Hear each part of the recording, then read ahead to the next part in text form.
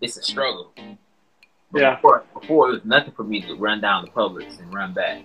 But now, you know, you got to put on the mask. You come home. Not a not a lot changed with me, um, because my mom always told us to um, wash off groceries and stuff anyway before you put them up in the freezer, because it's so much um, um, with the handling of the money of the customers and stuff like that.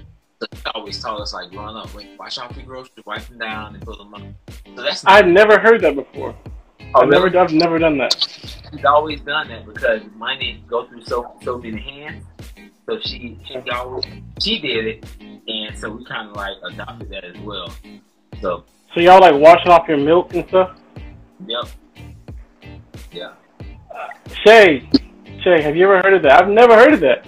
I've never washed my groceries before, but I guess I might have to, man.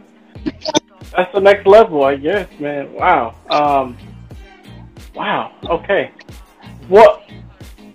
I've never heard of that. Does, Yeah. have you seen like a? Is that something you you done for like your whole life? Yeah, pretty much, yeah. And unless I see them like cough or sneeze, and then I literally like tell them to take it off, and I'll leave the line and go to another line. Serious, I, I can't help it, man. I, yeah. Lauree, man, Lauree started coughing in public, and uh, she was coughing in public, and I almost had to walk away from her. You know, I'm not about to be accused of coronavirus out here. Like, hey, I know the Bible says in sickness and health we make your vows, but man, I was like, come on, man, you can't be coughing out here.